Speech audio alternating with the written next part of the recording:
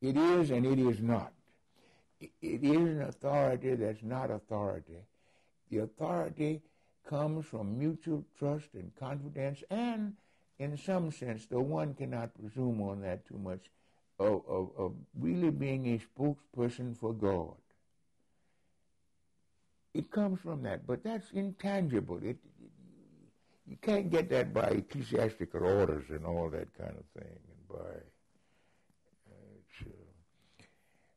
and the danger, and this happens to a lot of us, is to presume too much upon that, to uh, begin feeling that we are in the place which really belongs to God. Uh, uh, and some pastors come to that. Uh, if, they, if they are there a while, they begin to take a possessiveness about a situation in which they do not own, they are stewards.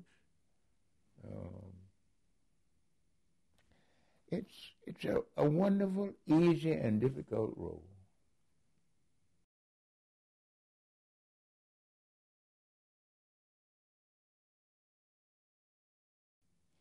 Jesus Christ.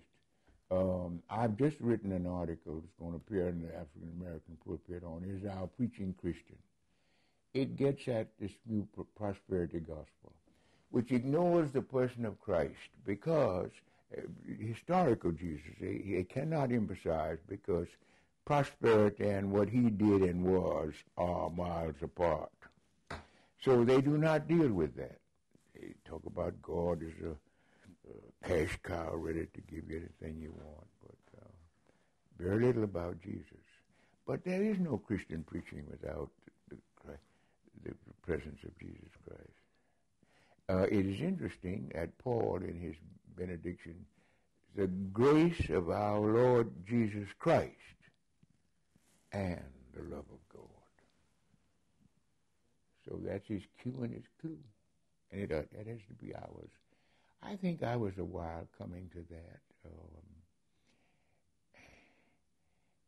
because in my background, uh, the preachers who were dealing with social issues found in the in the in the, the uh, Israelite deliverances something much more relevant to the preaching of Jesus, because we did not see his appeal to the disinherited.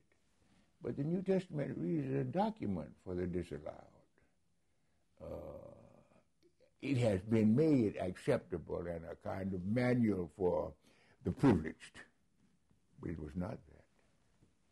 It was the foxes have holes and the birds have nests, but the Son of Man has nowhere.